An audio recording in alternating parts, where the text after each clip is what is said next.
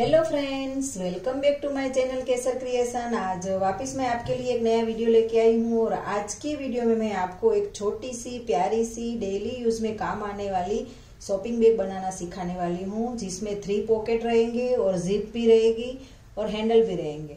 तो चलो हम स्टार्ट करते कि उसकी कटिंग और स्टिचिंग हमें कैसे करनी है। तो ये छोटी सी बैग बनाने के लिए हमें मेन फैब्रिक के दो पीस लेने हैं तो जिसका मेज़रमेंट हमें लेना है, सत्रह बाय नाइन सत्रह बाय नाइन के मेन फैब्रिक के दो पीस दो पीस लाइनिंग के, और मेन फैब्रिक में ही हमें ऐसे बुकरम को चिपका के तैयार रखना है। तो ऐसे हमें दो पीस सत्रह बाय नाइन के मेन फैब्रिक के और दो पीस हमें लाइनिंग के लेने हैं। और एक हमें ऐसे जिप लेनी है, जिसके आगे मैंने एक छोटा सा कॉटन का ऐसे कपड़े का पीस लगा के रखा है और दो हमें उसके हैंडल चाहिए। तो हैंडल मैंने थ्री थ्री इंच इसकी चौड़ाई ली थी और तेरह इंच थ्री बाय तेरह का है। तो उसको मैंने फोल्ड करके दोनों साइड एक एक सिलाई लगा के रेडी करके रखे। है तो अभी ये वाला जो पीस है मैंने मेन फैब्रिक का, उस पे मैंने ये बुकरम चिपका के रखा है। तो उसके ऊपर हम ये वाला लाइनिंग रखेंगे। लाइनिंग रखने के बाद हमें यहाँ से इतना पार्ट ओपन रखना है और बाकी हमें बाकी की साइड में हमें सिलाई लगानी है। सिलाई लगाने के बाद इतना पार्ट ओपन रखेंगे और फिर यहाँ से उसको पलटी करेंगे। तो पलटी करने के बाद ये वाला पीस मैंने तैयार करके रखा है। पलटी करके और फिर जो ओपन पार्ट था वहाँ पे सिलाई लगाइए। तो ऐसे हमें ये वाले, ये वाला पीस भी रेडी करना है। तो ये वाला पीस मैं रेडी करके आपको दिखाती हूँ कि यहाँ से हमें सिलाई लगानी है। इतना पार्ट ओपन रखना है, फिर उसको हम पलटी करेंगे। तो मैं उसको सिलाई लगा के पलटी करके आपको दिखाती हूँ। तो ये देखो मैंने इतना पार्ट ओपन रखा और बाकी की साइड में मैंने सिलाई लगा दी। अब हम उसके जो कोने हैं उसको ऐसे कट कर देंगे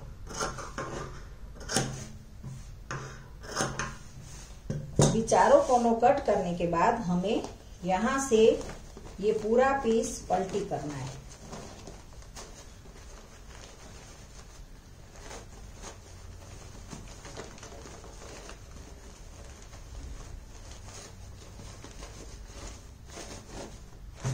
इस तरह से हमें पूरा पीस पलटी करके उसके कोनों को अच्छे से बाहर निकालना है।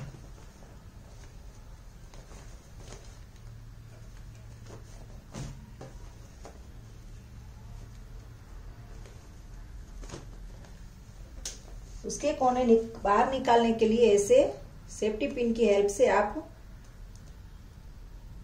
ऐसे करते हुए आप बाहर निकाल के पूरे चारों साइड के कोने बाहर निकाल के फिर उसके ऊपर प्रेस लगाएँगे और जो ओपन पार्ट है उसको हम पैक करेंगे। तो वो मैं पैक करके आपको दिखाती हूँ। तो ये देखो मैंने सेम प्रोसेस से दोनों पीस ज्वाइंट करके पलटी करके यहाँ पे सिलाई भी लगा दी।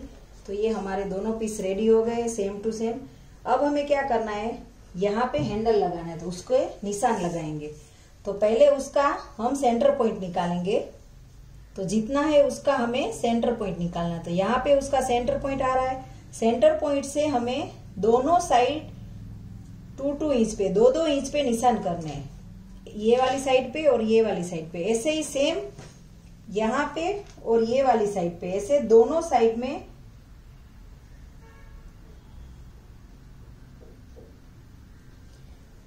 ऐसे ही तो हम यहाँ पे थोड़ा सा यहाँ मोड़ेंगे और यहाँ पे मोड़ के यहाँ पे हैंडल ये वाली साइड पे और एक हैंडल ये वाली साइड पे। ऐसे हम दोनों साइड पे एक एक हैंडल लगाएँगे। तो ये वाला हैंडल मैं लगा के आपको दिखाती हूँ। तो ये देखो मैंने मिडल से टू टू इंच पे ऐसे हैंडल लगा दिए। तो ये दोनों पीस पे ऐसे मैंने हैंडल लगा दिए। अब हमें क्या करना है? हैंडल लगने के बाद, जैसे ये एक बेग है, वैसे ही हमें ऐसे फोल्ड करना है। ये वाले पीस को ऐसे फोल्ड करेंगे और ये वाले पीस को भी यहाँ से ऐसे फोल्ड करेंगे। और अभी ये जो हैंडल जो हैंडल बिना का पीस है, वो दोनों पीस को एक दूसरे के ऊपर ऐसे रखेंगे।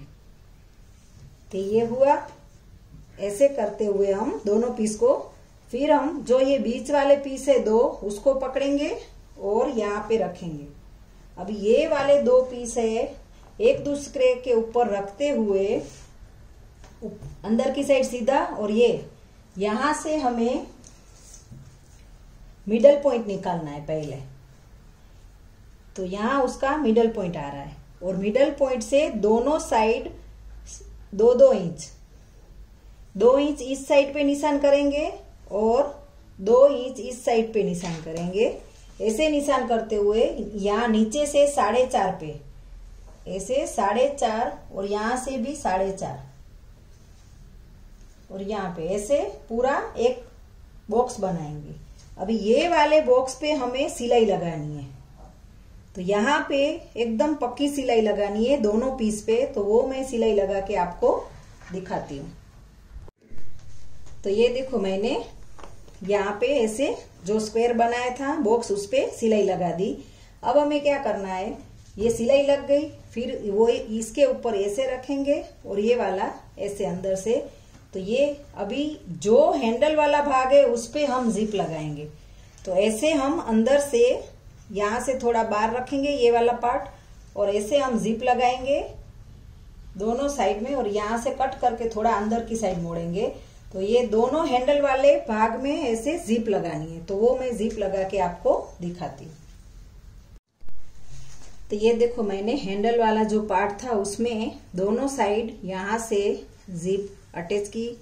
अभी ये वाले दो दो पार्ट को हम साथ में ज्वाइंट करेंगे। तो ये जिप को हम अंदर की साइड ले जाएँगे। और अब हम ये वाले दो पार्ट में एकदम अच्छे से जमाएँगे और यहाँ से सिलाई लगाएँगे। और यहाँ पे भी ऐसे ही हम अच्छे से पकड़ेंगे और यहाँ से सिलाई लगाएँगे। ऐसे दोनों पार्ट में अलग अलग यहाँ पे यहाँ पे, ऐसे हम चार सिलाई लगाएँगे। दो इस साइड पे और दो ए वाली साइड पे। और जो एक्स्ट्रा है उसको कट करेंगे और अंदर की साइड थोड़ा दबा के सिलाई लगाएँगे तो ये इसकी फिनिशिंग अंदर आ जाएगी। तो वो मैं सिलाई लगा के आपको फिनिशिंग के साथ दिखाती हूँ कि रेडी कैसे लग रही है बैग तो ये देखो मैंने ये साइड भी पैक कर दी, ये वाली एक, दो और तीन, चार। और यहाँ पे थोड़ी सिलाई लगाई, लगा दी तो ये जिप हमारी बाहर ना जाए। और ये हमारा थ्री पॉकेट वन ये टू और ये छोटा सा बीच में पॉकेट मिल रहा है। तो ये थ्री पॉकेट और ये जिप बंद करेंगे तो ये हमारा पैक हो गया। और ये हमारी साइड साइड ये बैक साइड ये बैक साइड और ये बैक साइड। तो ये हमारी छोटी सी शॉपिंग बैग रेडी हो गई। ये हम इसमें देखो ऐसे पर्स भी रख सकते हैं। एक पॉकेट में मोबाइल और ये बीच में जो छोटा सा पॉकेट है उसमें हम चाबी भी रख सकते हैं। तो ये हमारी छोटी सी, क्यूट सी वेस्ट फैब्रिक में से बैग रेडी हो गई।